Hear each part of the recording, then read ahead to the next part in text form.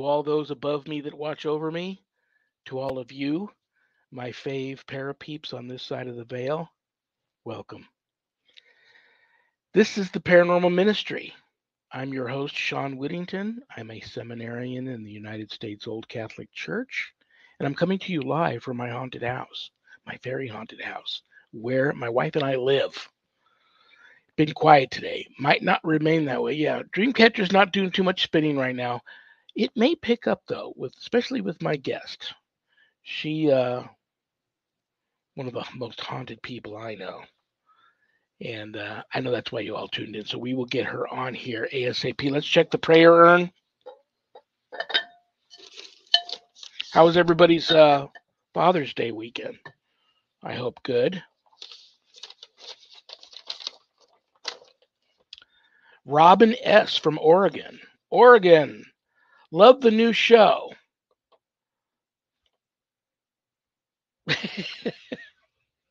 Maybe that's my show. Scary stuff, probably. Love the new book. Thank you. Scary stuff, yeah. what are the items in the kit and how do I use them? P.S. A good prayer for protection. Please. Okay. Um, the show, Eli Roth presents The Legion of Exorcists, Thursday nights at 10 p.m. on Travel Channel, Discovery Plus, and Max. That's my show. Um, I hope that's the show she's talking about. And if you guys have all watched it, I hope you enjoy it. Too scary for me to watch. Uh, love the new book. Thank you very much. And that's scary stuff too. You know, my publisher always said that the my first book was the scariest book she ever edited uh, and published. But now she says I've changed my mind and it's the second one. So that's just warning, throwing a warning out there for you guys. Uh, the stuff in the kit. Um, there should be Palo Santo wood in there. You just light it on fire, let the flame burn for a little bit, blow it out. It'll start smoking. Walk through the whole house, get the smoke everywhere. There should be sage, a sage, big sage stick in there. Same thing. Light it on fire, let the flame burn for a little bit, blow it out. It'll smoke even more than the Palo Santo. Get it everywhere in the house. There should be blessed sea salt in there. And mixed in with the sea salt is dead sea salt, kosher salt, probably some black Himal- uh, pink Himalayan and some black Hawaiian salts mixed in with the blessed salt. You want to sprinkle the blessed salt on the windowsills on the inside of the house. Sprinkle yourself from time to time. Sprinkle it on the ground at the bottom of every door that leads outside. There should be holy water in there. There is blessed anointing oil mixed in with the holy water. You want to put that on your thumb, touch your walls, and physically make a cross. Bless yourself with it all the time. There's not a lot there, so use it sparingly. That's in the kit. That's what's in the kit. Oh, there's a blessed medal in there, a miraculous medal. Keep it in your pocket, wear it as a necklace, pass it on as a gift. It's a great thing about religious gifts to pass them on to someone that you feel may need it if you don't want to wear it. And I think that's all that's in the kit. And that comes if you buy the book from me, uh, not Amazon. It leaves my office here. I autograph it and send house blessing kit stuff with it. A good protection prayer. You know what? Uh, I am going to recite one because I've had a lot of requests for that in the past couple of days. People having issues. So just on the outside chance, Robin, you're watching, and I'm assuming you are, and you may need this prayer, crank the volume up on your speakers. Let's make this happen. And you know what? We're talking about the show, and look what I opened up to. I actually opened up to a prayer that I blessed the set with before we started filming. And I'm going to use that prayer. It's a beautiful prayer. name of the Father, and of the Son, and of the Holy Spirit, I offer this prayer up to Robin and anybody within the sound of my voice. In his name and by the power of his cross and blood, I ask Jesus to bind any evil spirits, forces, and powers of the earth, air, fire, or water, of the netherworld, and the satanic forces of nature. By the power of the Holy Spirit and by his authority, I ask Jesus Christ to break any curses, hexes, or spells and send them back to where they came from, if it be his holy will. I beseech thee, Lord Jesus, to protect us by pouring thy precious blood on all of us which thou hast shed for us, and I ask thee to command that any departing spirits leave quietly, without disturbance, and go straight to thy cross to dispose of as thou sees fit. I ask thee to bind any demonic interaction, interplay, or communications. I place all of us under the protection of the blood of Jesus Christ, which he has shed for us. Amen.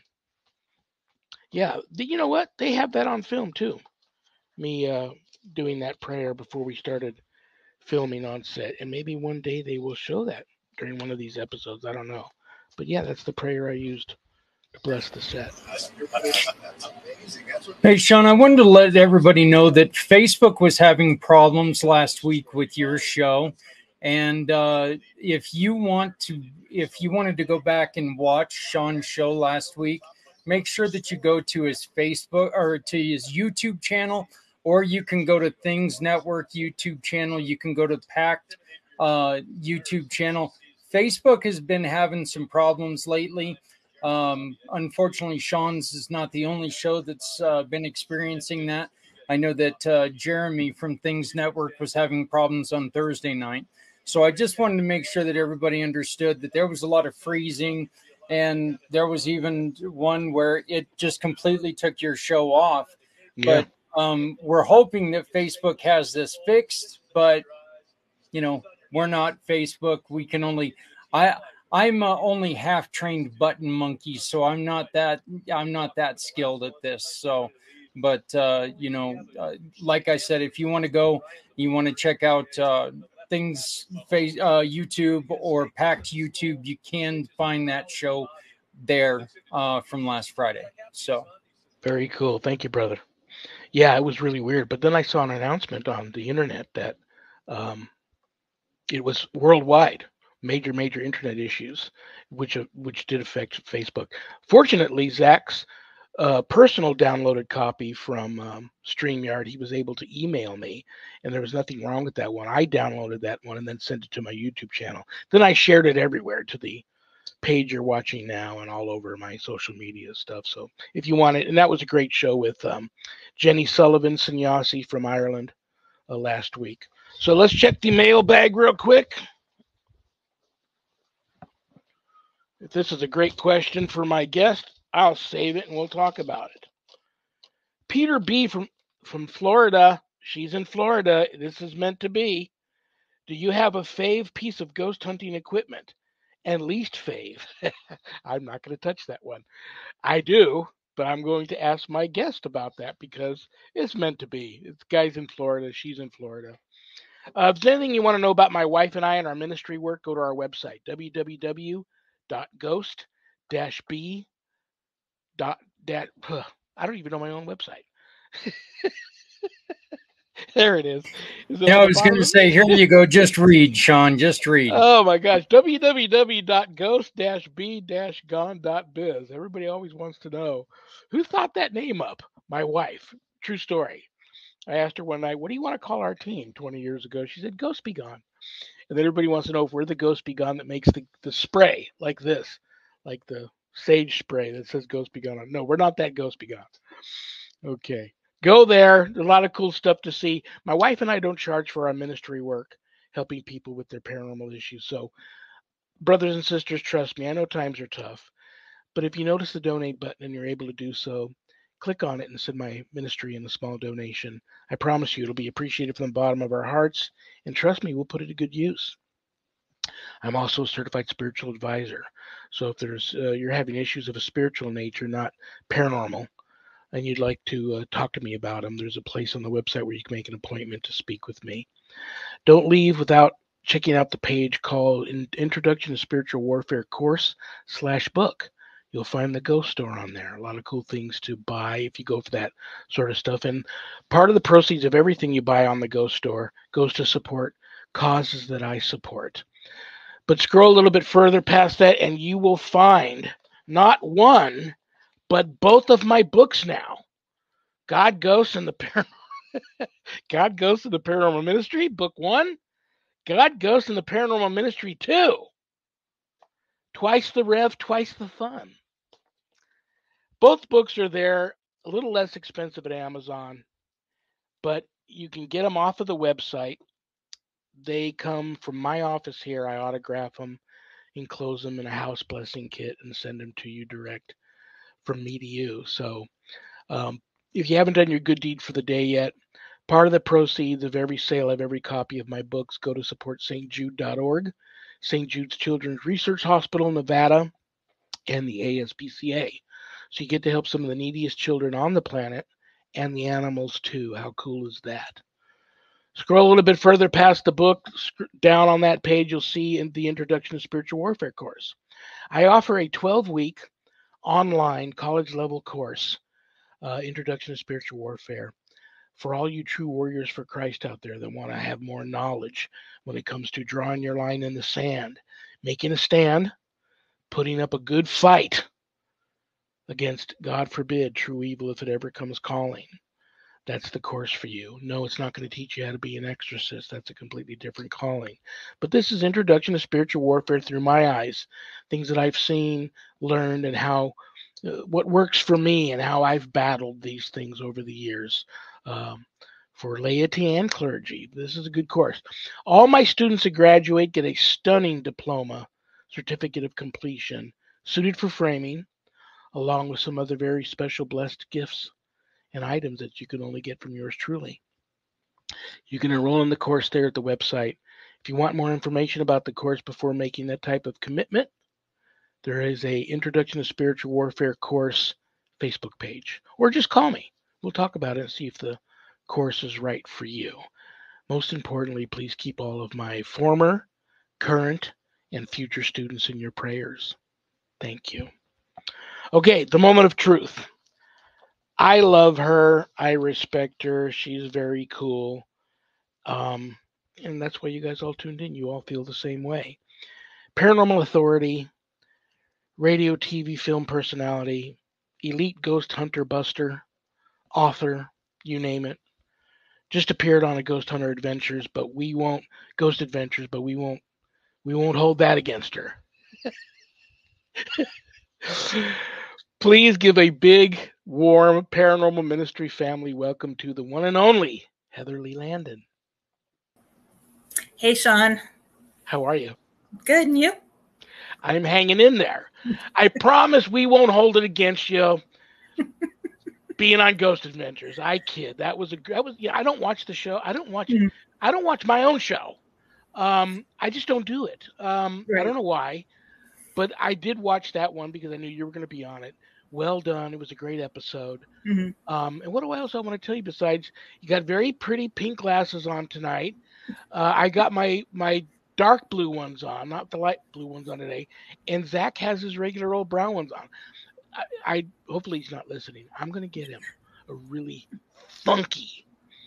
You know, my producer should have a really you know, funky pair of of mm-hmm. specs. I'm going to get him one for Christmas or next Father's Day or his wedding anniversary or something. But, um, how are you? Oh, me? Sorry, I thought you were commenting to the comment down there. Oh, it's been, been one of those day. days, huh? It's been a long day already. Uh, things have been great. I've been busy and staying out of trouble the best I can. um, probably easier to stay out of trouble in Florida than it is here in Las Vegas. And I know you're yeah. from Las Vegas. Um, we I asked you this in the in the green room if you mm-hmm. um, missed coming coming back and doing the episode if you missed being in Vegas and you let me know that you'd filmed that over a year ago. Mm-hmm. It's so amazing to me how like sometimes they these networks spit stuff out real quick. Sometimes it takes them forever like um like they reached out to me for my show before the pandemic. Mm-hmm. It's just amazing how that stuff works. But well done. And while we're on the topic, I know everybody's going to know what it was like to be on Ghost Adventures. Yeah, I don't. You may have been on there before. I know you've been on other shows, no. No. but um, I know the girls probably want to know if Zak's as sexy in person as he is on film. um, was he nice to you? How was it filming that episode? And then we'll get into um, haunted Lake Mead. Yeah, uh, unfortunately, we actually filmed it uh, virtually. So what you see Oh, on, the, on the show bummer. is actually what happened. It was all done through Zoom, and uh, but they were actually at Lake Mead when it happened. But before we filmed, and even after we filmed, Zak took the time to talk to me, That's so cool. and I don't really want to answer if he's as sexy as he looks on TV because my husband's watching upstairs. Okay. but I think he knows the answer, and uh, yeah, there's a, there's a little bit of a crush going on there with Zak. very, very cool. Very, very cool. Uh, that, gosh, that show, how long's it been on? 20 seasons now, I think. if not more. Yeah, good Yeah. for them. And he's had a lot of spin-offs and stuff, and he's got his museum here. Have you ever been in his museum? No, no, I haven't either. I didn't get to. I haven't been in this museum either. Shame on me. And I live here, you know. I, I um, I'm always. I'm always you know preaching para unity and support Mm-hmm. your you know your your what do we call each other? Do we call each other colleagues? Yeah, support your colleagues in this field. Mm-hmm. And I haven't been there. You know why? I'll tell you why. My wife, we're both survivors of extreme demonic attacks. Mhm. We, we we have spirits here.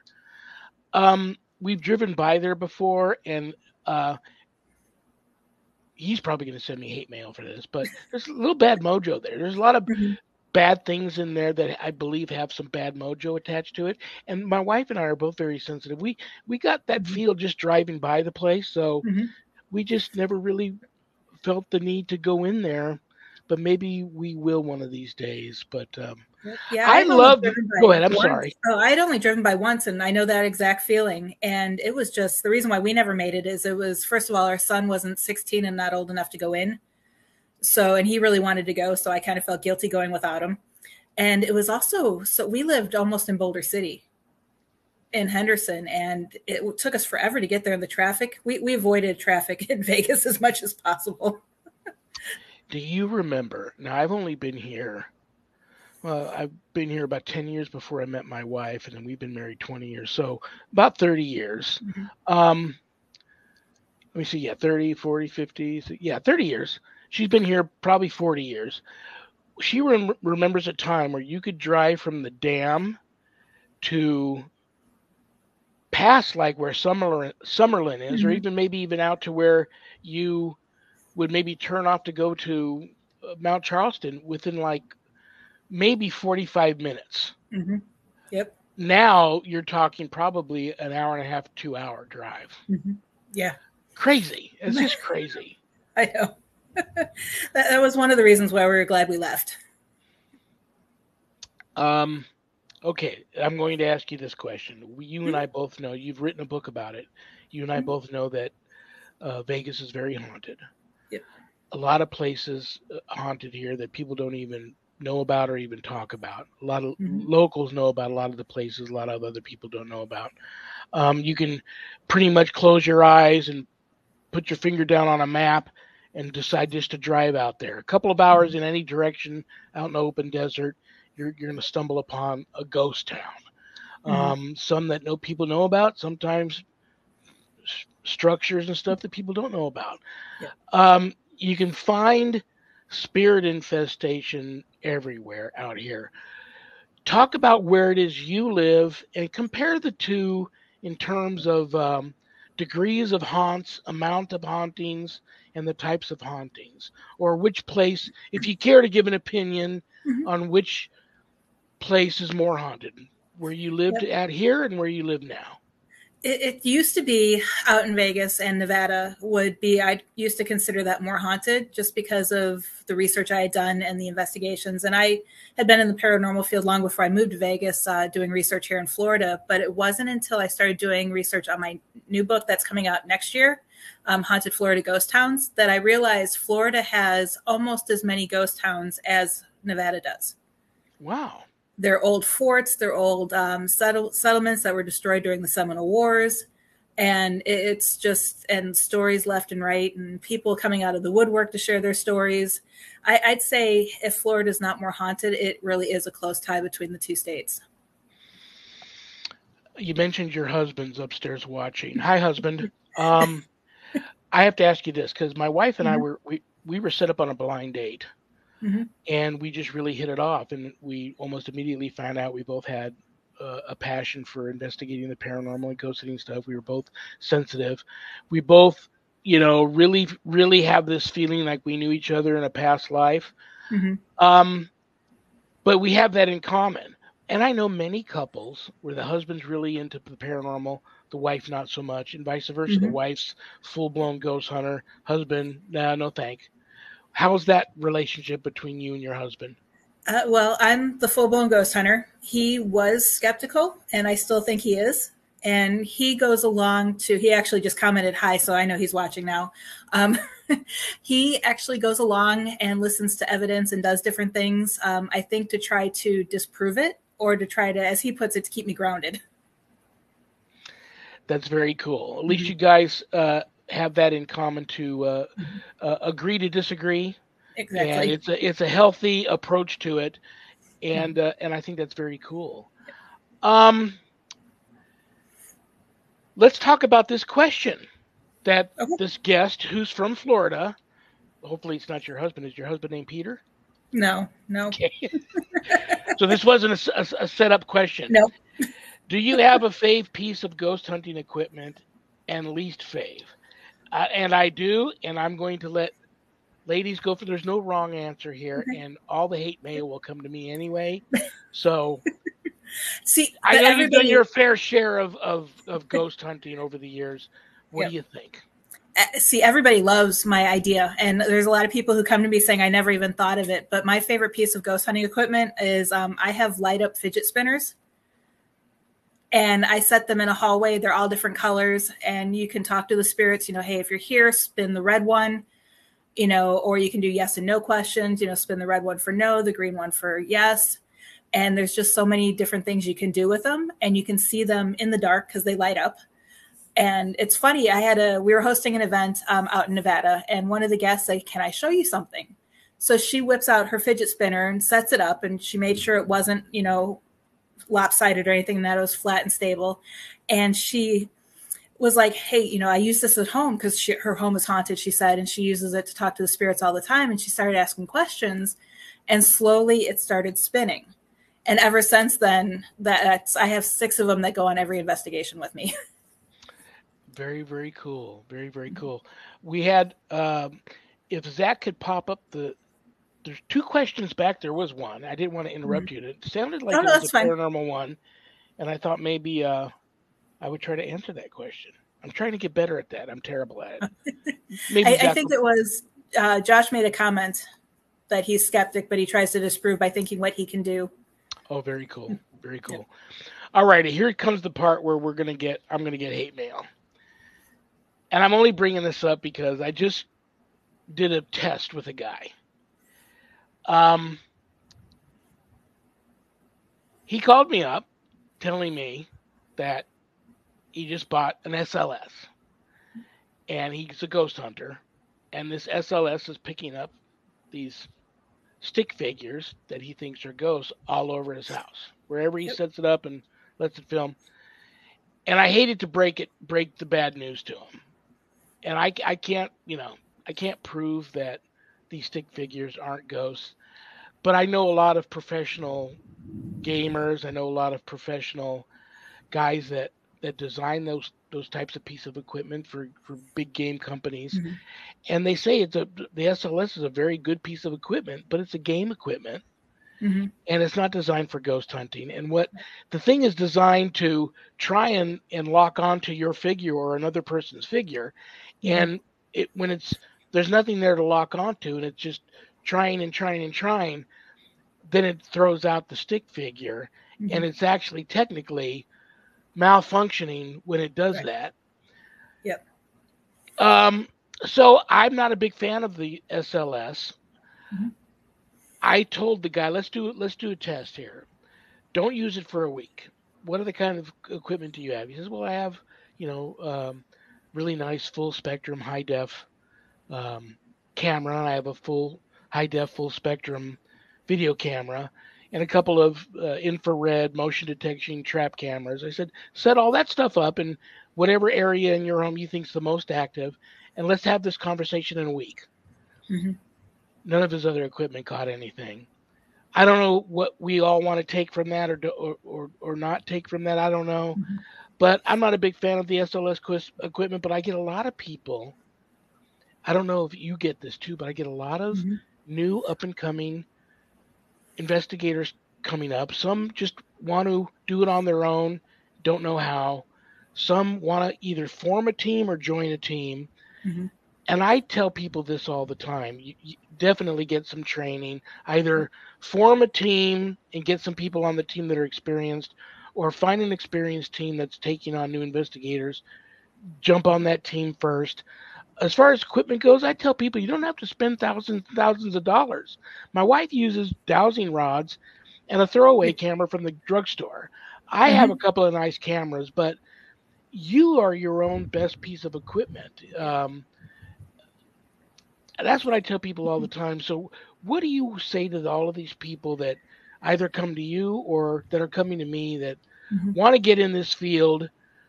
The biggest do and biggest don't.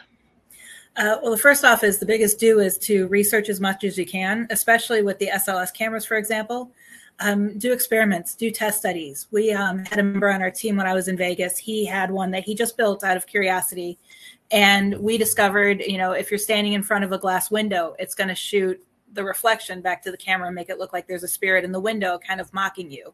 Um, if you're standing too close to a wall, if it's a shiny um, satin finish, it's going to, you know, glossier satin, it's going to shoot it back to you. Um, so you're going to have reflections on the wall that read as if it's a spirit behind you, and it's not. It's just your reflection. And people need to understand how equipment works, whether it's your digital voice recorder, your camera, you know, even dowsing rods. Learn how they work in order to be able to effectively use them and to be able to quickly identify when something is not paranormal and it's just a glitch in whatever you're using. I did not know that. That's very interesting. Even these Yeah. gamer guys didn't tell me that. I wonder if they were Mhm. purposely holding that information back from me. uh, I did not know that. That's very, very interesting. Um, what else do I want to ask you? Um, entities. So right now, we have all kinds of people coming to me with all kinds of reports of uh, alleged spirit activity in their in their homes, whether it be um, disembodied human spirits. Sometimes they believe they're angelic forms. Mhm. Sometimes they believe they're interdimensional beings, possibly extraterrestrial, maybe something worse. Some demonic. Um, in your humble opinion, there's no wrong answer here. In your humble opinion, do you believe that there are many different type of interdimensional and i'm going to even lo- uh, throw in disembodied human spirits into that into that interdimensional being thing. Do you believe that there are many different types of interdimensional entities visiting people? And if you have a, a best guesstimation on how many different types you can throw elementals in there if you want. Mhm. what do you what do you think i'm getting from all of these different types of of uh, reports, and from what these people tell me, they they sound like they're being visited by different types of entities.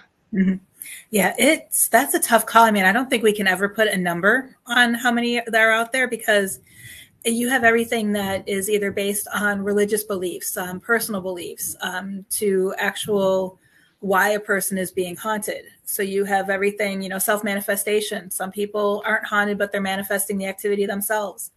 And then I know a lot of people that I've been researching with lately that they're doing research on whether or not some of the paranormal activity we have is not ghosts, but more, you know, aliens finding, you know, a wormhole or something to get to us and help out, you know, help out and or even cause the paranormal activity and they're approaching us in a way that we're comfortable, you know, in the aspect of like family members coming and seeing us. Yeah, it's very interesting. Um, these people, some of them get uh, visitations that are very violent, uh, and if it's usually for me, if it's um, you know, there's a lot of biting or scratching or punching or these these visitations are sexual in nature. I, I tend to lean towards malevolence, uh, probably demonic. Uh, but some of these visitations, like uh, I talked to a lot of people that believe ETs have come to them um, interdimensionally wise and visit them. Some of them are very friendly. They take them on these, you know, outer body you know, um, uh, viewing adventures. Some of them are violent. It's like Mhm. a, an abductee Right. where they're they're messed with physically, but but I don't believe these are demonic. And then you've got the uh, disembodied human spirits, Mhm. which I believe I believe this. I, I don't know if you do, but I believe that if they really really want to get a message to you, and you're just so hard headed, you don't. You're just not getting it when you're Mhm. awake. That they really try to reach you in your dream state to give Mhm. you these messages. So I believe some of that's going on. Um, but uh, yeah, I, you know, elementals. I believe that's going on too. It's just Mhm, um, yep. Mm-hmm. and angelic beings. You know, people talk about seeing these angelic figures. That's not the same as you know uh, being taken on an astral, you know, trip Mhm. by some extraterrestrials. These angelic beings are, are very angelic, like Mhm. angels come and visit you and show you things or tell you things or take you places, which I find very interesting. Mhm. But um, these reports are all over the charts, the Mhm. different Yeah. types of uh, of um, of visitations. I find it really interesting. What's the most interesting, or scary, or amazing case that someone's brought to you and says, "This is what's visiting me, and what do you think, and can you help?" Um, oh, real quick, if you guys lose me, our lights have been flickering with the thunderstorm going on. Oh, okay, Just wanted to let you know real quick. alrighty. I Oh, you guys, the power stays on long enough. you guys get them bad there in Florida. Yeah. Yeah, Yeah. and it's we're at that time of year where they're nonstop. Um, but the one case that kind of intrigued me a little bit was um, we had a client that reached out to the former team that I was on in Vegas, and they had um, a lot of activity was happening. She believed it was demonic in nature, um, based upon the daughter dabbling in witchcraft, and the mom and the daughter used a Ouija board, and the daughter just didn't know what she was doing. So we sent in the team, the director sent in, I think, four individuals to do the pre investigation and talk to her and do the interview and everything. And when they came out, they said it was 100% demonic Wow. and that we needed to go in and investigate a second time. So a different group from the team, um, some of the more, I guess you, I really don't want to say more experienced ones because we all pretty much had the same amount of experience, um, went in and it was basically the ones who did more residentials than the others. And upon getting there, we had, it was, it wasn't demonic, but it was a negative entity that was acting demonic to kind of get us to go away. It, the investigator I was with, his eyes turned solid black. He lost track of time, had no Wow. idea where he was when he came to. Um, that was when I was physically attacked and brought down to my knees. Um, encountered face to face a huge shadow figure that was like coming face to face with um, the refrigerator from the Bears in the 80s, but it was all solid black mass in the closet. And when we were in the bedroom, we um, actually I had even forgot about this part of it until I was reviewing evidence again for a presentation I'm working on. But we were in the bedroom, and the daughter had a makeup stand, um, kind of like her vanity to get ready, and then her dresser with a mirror facing each other. So the two mirrors were facing each other. And during the investigation, the um, light from the shining on the mirror started shaking, and then the vanity started shaking and it was real interesting. But once I cleansed, I went through the home. We saged it. I used cascarilla and um, someone what is else. used- cascarilla? it's crushed eggshells that's used in voodoo and hoodoo. But what we ended up doing is going through the house because the daughter had practiced witchcraft. We used that in addition, you know, thinking that if it was a pagan entity there, that we would use that to help cleanse it. And then someone Very followed behind me with holy water, you know, because that's what the mom believed in. And the minute we finished that last um, cross and cascarilla sprinkle in the house, the house got brighter. Wow. It was like, and nobody turned on any additional lights. It just got bright.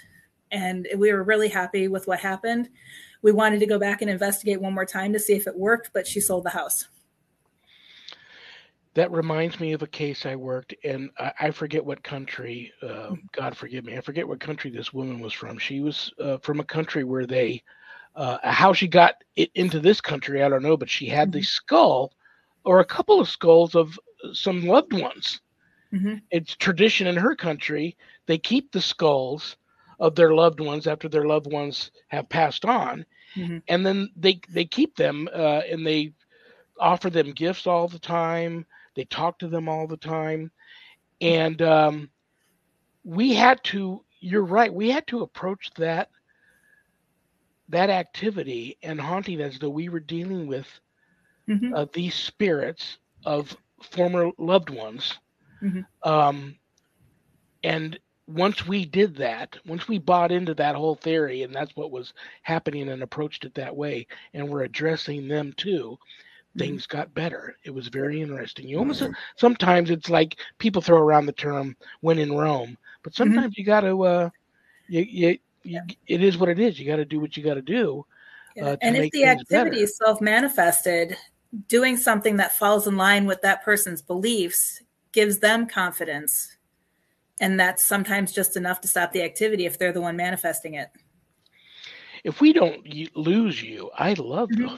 the, the, thunderstorm. That's like special, like we could have asked for better special effects for this topic, you know. Mm-hmm okay, here while we're talking about equipment and all these beings, mm-hmm. um, like I said, I, there's there's no rhyme no reason. I'm not an expert. I don't have all the answers. My wife has caught some wonderful evidence on these mm-hmm. little throwaway 35 millimeter cameras you get at the at mm-hmm. the drugstore. Um, I've caught some. I think I've caught more on my full spectrum cameras than anything else. Um, but you know what's interesting? I don't get many pictures of spirits in mirrors. And I don't catch many pictures of demonic entities straight on with the lens. I mm-hmm. get a lot of um, darker, more malevolent apparitions in reflections of mirrors. Mm-hmm. And um, you've got these people out now that are really, or they claim to be, and I, you know, like I said, I don't judge and I don't dispute that they're angel photography. They're taking these pictures of angels, and when you look at these pictures, um, I, having seen, having claimed many times to have seen my, my personal guardian angel three times. All three times she saved my life. I don't know if it. She looks like a young lady, but she could be. Mm-hmm no sex, no man or woman. I, I heard angels don't really have a sex.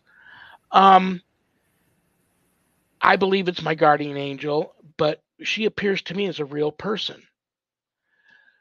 Um, I don't know if what these people are catching in in these in these photos are angels. I, in my humble opinion, I think an angel will appear to the person that's made. When you know there were people around when these uh, on two separate occasions when I saw my guardian angel, there were mm-hmm. people there that didn't see her. Yeah. I believe that the guardian angels or the angel will appear to the person they're meant to appear to and no one else.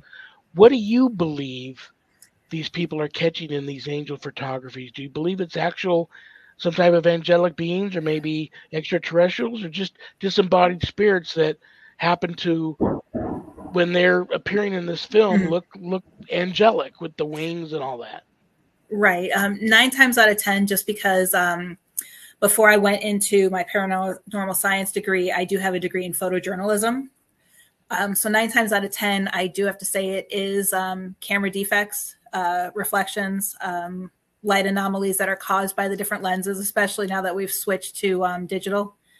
I know a lot of it's, you know, even lens flare coming from depending on how you're faced. I've seen people take photos of a mirror and there could be just one little fingerprint smudge and when the flash reflects back it spreads out like you know wow. some of the angelic stuff um, but if you're actually taking a photo i mean angels or you know angels or even spirits they don't need a window or a mirror to manifest if they're going to manifest you know it's going to be right in front of you or you know i have two pictures that i think are great evidence but of course they are through windows. So you you know it's 100% you have to rule out certain things. But when it comes to your guardian angels no one else is going to see it. So why are they going to want to be captured on camera? Yeah I, i've got uh, you know uh, lots and lots of photos that i i think there's something paranormal there. Mhm. But because I can't prove it, I, I've never shared them. But then if I've captured something and I can attach a personal experience to it, those are the ones that I share or at least show to my people in my inner circle and say, check this out. At the time I was experiencing this, and then this is what I Mhm. got on film. But that's that's invaluable. That training in your in your uh, film school, that's invaluable. Yeah, and, and it's funny because we've the two that we've caught is um, one was in Goldfield when we were actually filming Real Haunts Ghost Towns, and we were just shooting photos of the downtown area of Goldfield. And there was we're at the ho- hotel, and just down the road there's a little brown building that used to be used as a brothel. And we snapped three photos back to back, and we were far enough away that you could see there was nobody between us and that building. And in the third picture, if you zoom into the window facing us, you can see the outline with a little bit of a glow of someone standing in the window. And it's not a reflection, it's actually, you can tell it's behind the window, which I thought was really neat. Um, my um, Goldfield days. My wife and I used Yeah. to go to that every year for many Mhm. years, and uh, why all of a sudden we stopped going, I don't know. Um, I I don't even remember what time of year that is. That like right in the middle of the summer or later on in the I think it's August-ish, August, September. yeah, a little bit later because it's too hot. Mhm. like right in the middle of the summer to have that. Um, I know you've been asked to come out and do an event there. Mhm. Uh, you have to let me know, even if you come back this side of the country, just to Mhm. go there to attend Goldfield Days. Mhm. Let me know. That would be Okay. worth it for me and my wife to make plans to Mhm. at least go up like on a Saturday and spend the day just to to uh, finally meet you face to face, hang Mhm. out with Yeah. you, talk a little shop, maybe go investigate a couple of the locations. We've we've been in just about every haunted location there. I remember it was early on when they were just starting to let people in on day or night tours of the hotel. Mhm. And this was right after uh, early Ghost Adventures episodes were there. Mhm. So it was kind of a big deal. And um, yeah, that place is just unbelievably off the charts haunted. I remembered they had some bad experiences, not the one on the show, but they had some bad experiences with investigators going down into the the basement Mhm. and they didn't have a rope up on the top of the stairs and so the the group had moved past. I went to walk down those stairs and it was just like my foot something would not let my foot Mhm. go down to that first step and it was like hot icebox hot icebox um amazing and i it was I George thought Wingfield probably telling you to go away. i didn't i didn't want to go down there and it was like you, you think about uh, photos that you take that you you have an experience Mhm. that attached to it but you know everybody else is going to look at it and go, ah. Right. you know the room where the girl was attached till she died while she Mhm. she had they chained her to the uh, Mhm. what are those things heater old fashioned Heater. heater, Yep. in this secret room and then uh, she has her baby the baby's murdered then she's murdered um, they opened up that room and i remember taking photos in there. Sharon felt her presence. I had a picture of sharon looking up and there's an anomaly right above her. But Mhm. then I took another picture, and you know that weird little window behind the uh, old-fashioned heater? Yeah. that is like a, a fake, like it's a fake window, but it was an event, so that some air could come into the room, so the woman wouldn't suffocate to death. I don't know why that was important because they murdered her anyway. but I there's a there's a it could be make, matrix matrixing. The window could be dirty but Mhm. there is definitely the face of a woman in that fake window Mhm. looking back above the the heater uh, and i still have that photo i think it's an amazing Mhm. photo but like again i can't prove that that's her Right. but that um anything weird happened to you in the goldfield hotel No, no, actually I was um I only stepped foot inside the lobby real quick. We did um cuz we didn't have we were up there filming for a uh, pilot um just before COVID hit in February 2020. And we didn't have time to do too much inside the hotel, so it was like we stepped in, looked at the lobby, and turned around and then did a quick investigation around the outside and left. Um, but no experiences. It did feel like someone was watching from what would have been room 19 And I know a lot of people who've had experiences there. And actually, in my first book, I have several paranormal investigators share information about that hotel during interviews I had with them. And I know a team just went last weekend and they said the energy's kind of changed. It's no longer, doesn't feel the way it used to feel. Interesting. Very interesting. Um, you know about the tunnels there, right? Mm-hmm. I even offered to sign a release form to go down to that. Uh, it's it's like a hidden in the bar area, Mhm. uh, a tunnel that leads to the uh, red light district. Yep. And uh, the rich guys would go in there and pretend they were gambling, and when the wife wasn't paying attention, they would take these tunnels over. I, I wanted to go in these tunnels, but I. Uh, and I probably would have got down there and got too scared and came right back out. But I offered to, you know, sign a release to go down in there. They they wouldn't let me go down Mhm. in there. But um, yeah, that's a very interesting place. Um, you know, it's been up for sale many times. If you're gonna Mm-hmm. buy it, you've got to be able to afford to fix it up. Yeah. And that's I think the the down why nobody's been able to do that. You've got Mhm. all these people that can afford the price tag to buy it, Yeah. but then the it's uh, just insurmountable Mhm. amount of money it would take Yeah. to fix that place back up. Yep. Um, it just it just you can't it can't be done. Right. That's why there's several of us who want to start hosting different events out there and um, you know, donate the money back to to try to help renovate it and get it renovated. Before we run out of time, I want to Mhm. make sure everything that you want people to know about you, you talk about your show, your book, um, how to get a hold of you. Just the show is yours for however long you need to just tell everybody they need to know about you. Okay, uh, to start off, the website I have is listed there, heatherleighphd.com. You could also find me on Facebook at Dr. Heather Leigh.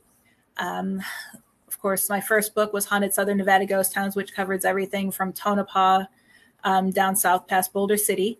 And that was what was featured in uh, Ghost Adventures. Right now, I do know it is out of stock, but um, I do have a few copies available. So if anyone wants an autographed copy, they can reach out to me um, Ghosts and Legends of the Vegas Valley, which I have behind me, and that's the one that you uh, wrote the forward to, which I absolutely still love. I am God, forgive me. I I forgot I did that. You're, you're I- on the cover. I love that book. It says right there. Um? I am get. You know what? My my mind is. My I'm telling you, my mind is gone. you forgot Um, you wrote that. One of these days, I'm just gonna wake up. It's not even gonna be me anymore. My wife's not gonna know me, and some else, somebody else will be doing this show. It'll look like me. It's just, uh, yeah. I, I'm sorry. Oh no, did that's Did. I do it? Did I? I I like. I love the book. Did Mhm. I do? Did I do a good forward?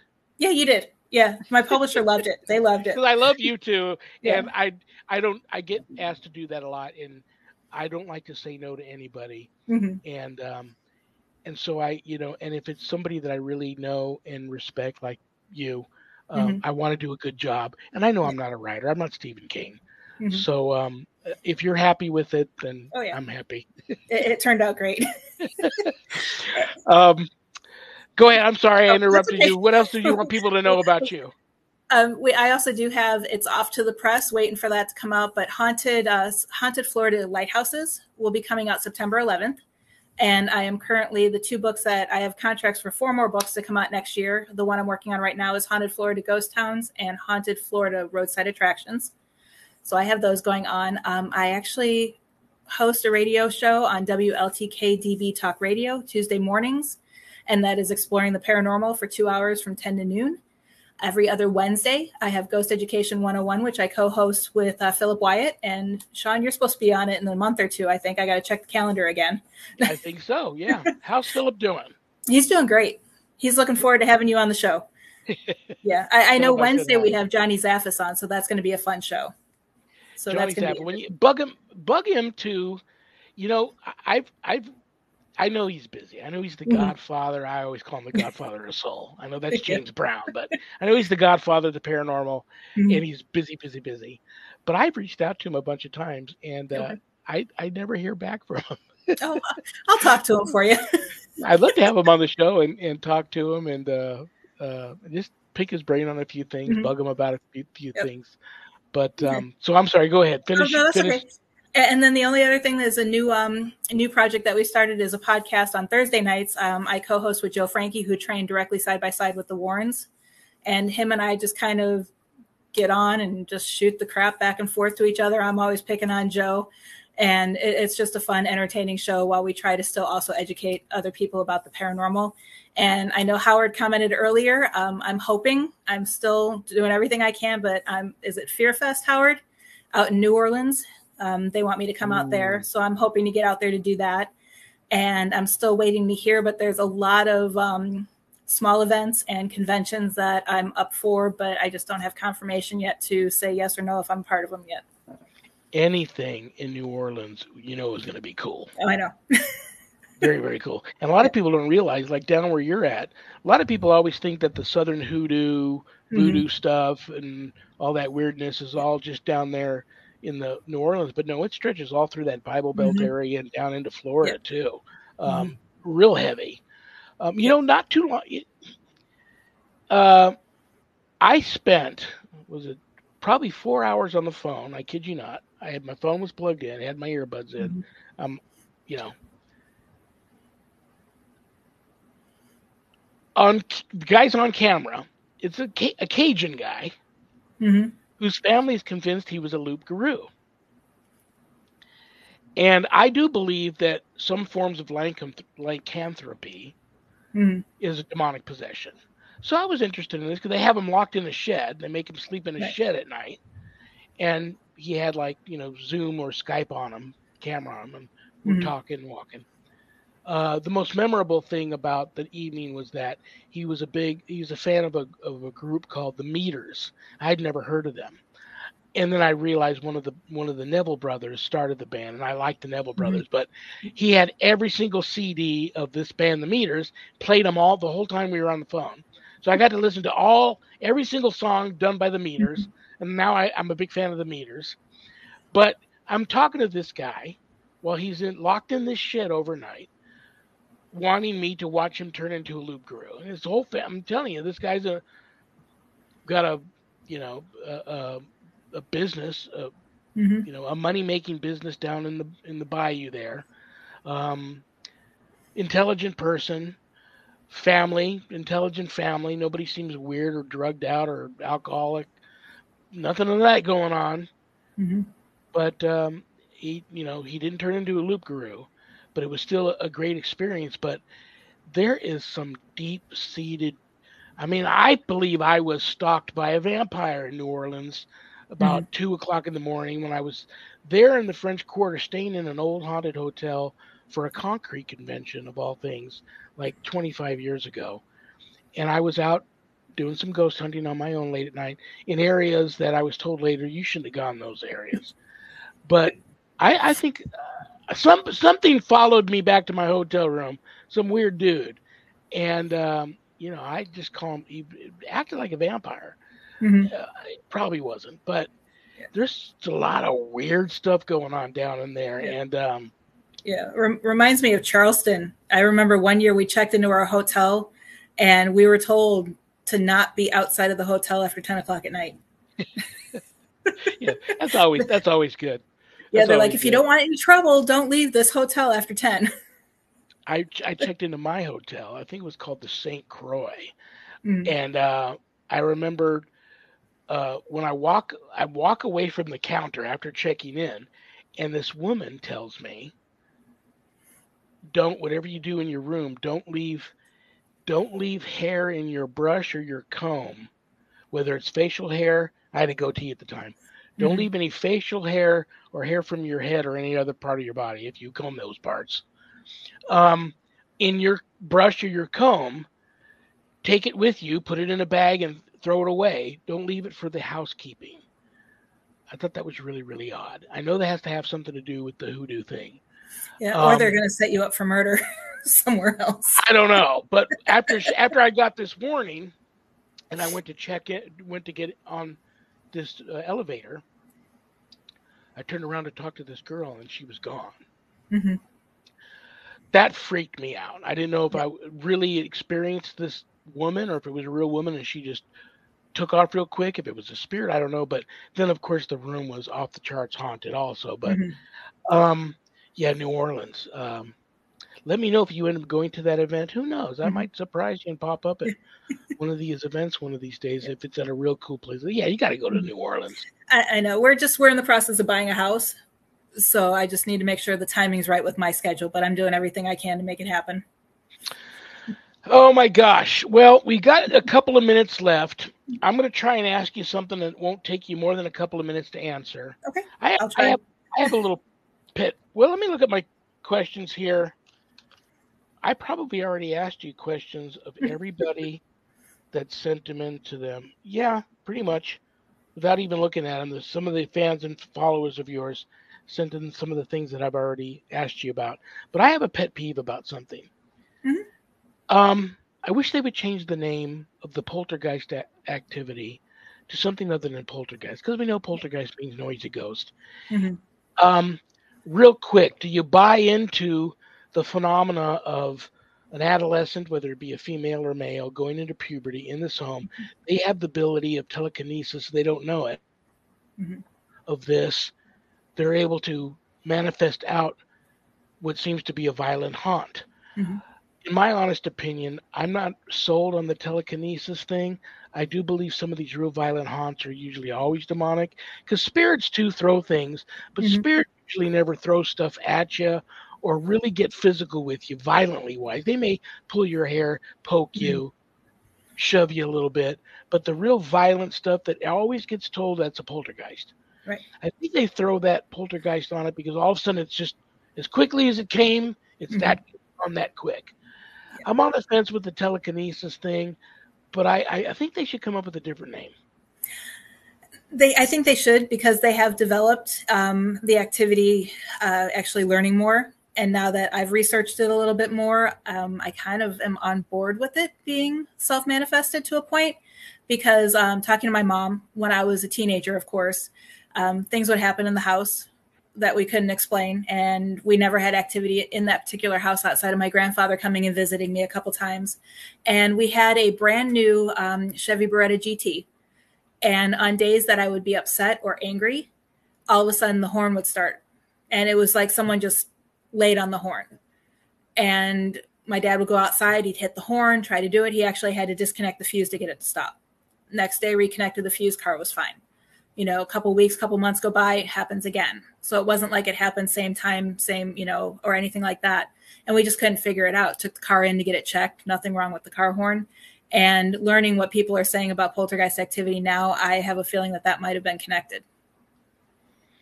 Well, we all just witnessed you make the thunder and lightning go away. I know it stopped. I love you. I respect you, you. Can't Thank wait you. to talk with you again. Give Huggy a big, give husband a big hug for me. Um, thank you so much for spending an mm-hmm. hour with me and my paranormal ministry family on a on a stormy Monday night in Florida. Um, I pray for you often, Thank and uh, I can't wait to see you again. Yep, sounds good. Thank you so much. I'll see you later. Mm-hmm, bye. Bye bye. Heather Leigh Landon, uh, Florida, thunderstorms in Florida. I wasn't born in, in Colts Neck, New Jersey, but many, many years as a young lad growing up there, back on the East Coast, man, thunderstorms out there, nothing like they are out here. Um, I mean, they're brutal on the East Coast, the thunderstorms.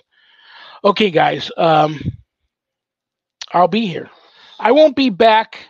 I don't know. Uh, I know Zak's got plans, and I got plans this Friday too. No, no live show this Friday. He may or may not. We may go dark. He may do a best of. Not sure. But I'll be back with an all new live show next Monday, and I can't wait because she took a little break. Now she's back.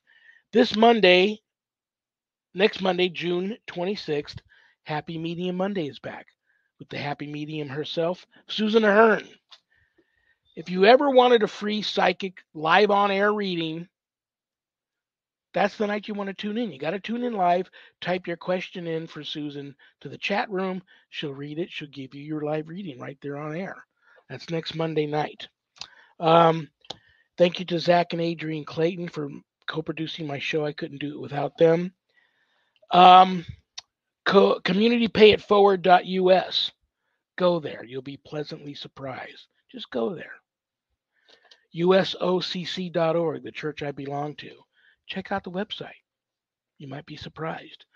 If you like uh, Bible study on Wednesday and Sunday afternoons at 5 p.m. Pacific, um, or night prayer, which is Monday through Friday at 7 p.m. Pacific, go to bishopjameslong.com or usocc.org. You can find the links to all those things if you want to be a part of that. And they're both beautiful things to be a part of. Thank you to Things Network. Thank you to Temple of Phoenix Rising Entertainment. Thank you to Skeleton Key Network. Thank you to PACT, little p, capital A C T, Podcasting for All Coming Together channel, for all these networks simulcasting my show. God bless you. And BeInspiredRadio.net. That's Chicky Hot, the rock psychic. That's her radio network. She re airs audio episodes of my show Saturdays all day, along with some old Art Bell reruns. Very cool. And a lot of other really cool new shows there. So go and check out BeInspiredRadio.net. Eli Roth presents The Legion of Exorcists, Thursday nights at 10 p.m. on Travel Channel, Discovery Plus, and Max. And I hear that's a scary show and a good show. Okay, it's bad joke time. I'm going to pull a bad joke that one of you sent in out of this haunted carnival barker hat. And it's my poor attempt to put a smile on everybody's face before I say good night. Why shouldn't you write with a broken pen? Because it's pointless. I tried to work with my delivery on that too. Did you like that?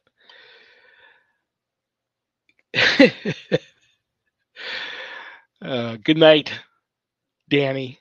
Good night, Jack. Good night, Dog. Good night, Harold. Rest in peace. Good night, Ernie. Good night, Bill. Good night, Dan. I love you all. God bless you all. Peace.